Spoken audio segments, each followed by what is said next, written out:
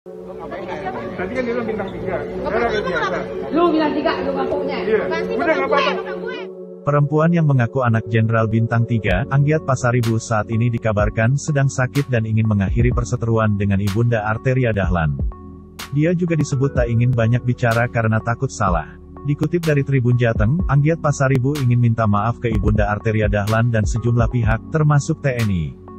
Sosok Anggiat Pasaribu beberapa hari ini menjadi sorotan publik setelah memaki Ibunda Arteria Dahlan saat di Bandara Soekarno-Hatta. Anggiat bukan anak Jenderal Bintang 3. Dia juga bukan istri Brigjen TNI Zamroni.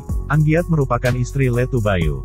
Mereka sepupu Brigjen TNI Zamroni. Belum diketahui Anggiat menderita penyakit apa dalam beberapa kabar disebutkan Anggiat Pasaribu hanya sedang tidak enak badan. Dia pun mengaku salah karena sudah bikin keributan yang mengaitkan beberapa orang dalam instansi TNI. Anggiat Pasaribu ingin semua masalah dan pemberitaan yang ramai itu segera selesai. Dia tak mau banyak bicara soal tekanan-tekanan yang membebaninya akhir-akhir ini.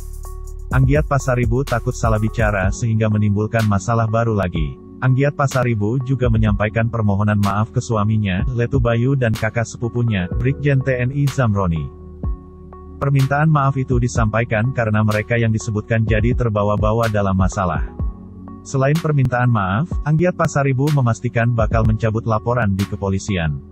Setelah pencabutan laporan itu, dia akan menemui keluarga Arteria Dahlan, khususnya sang ibunda yang dibentak-bentak.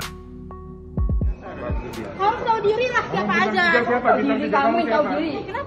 Bintang tigamu siapa? Bintang tiga siapa? Tadi kan dia bilang bintang tiga. Saya lagi biasa. Lu bilang tiga, lu ngakunya. Iya. Udah nggak apa-apa. Terima kasih sudah nonton.